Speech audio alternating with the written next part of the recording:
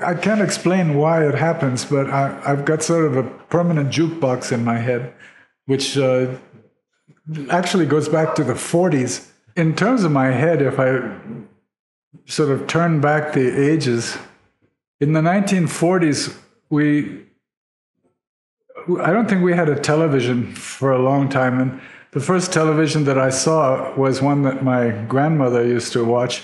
It had a screen about this big, and she used to sit right in front of it like that and watch it. And that was the television of those days. Then, um, so we listened to the radio a lot.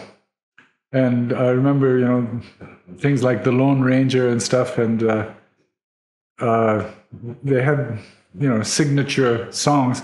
But we used to listen to the ads a lot. For example, Pepsi Cola hits the spot, 12 full ounces, that's a lot.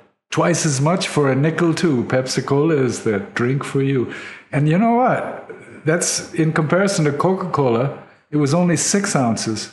And that was also a nickel, it was just five cents. So you could get double the amount of Pepsi for five cents. So the, the jingle was perfect, spot on. And then uh, one that Janaki loves is tender beef, juicy pork from Philadelphia to New York. Swift's Premium Franks, Swift's Premium Franks.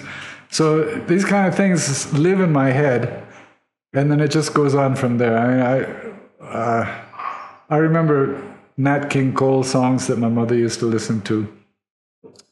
Uh, I, it, it, and then there's just an entire repertoire uh, up until the, my school years when people were coming from the, the missionary kids went home every two years to America and they'd come back with these 44, uh, 45 RPM records, these little tiny ones.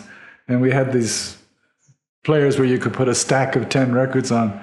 So Elvis Presley and, uh, ah, gosh, I, I remember uh, Chuck Berry and uh, Everly Brothers. Uh, you name there's just hundreds of hundreds of songs we in my head. And they can, I, I can recall them by a certain trigger, like either a certain word or someone says something.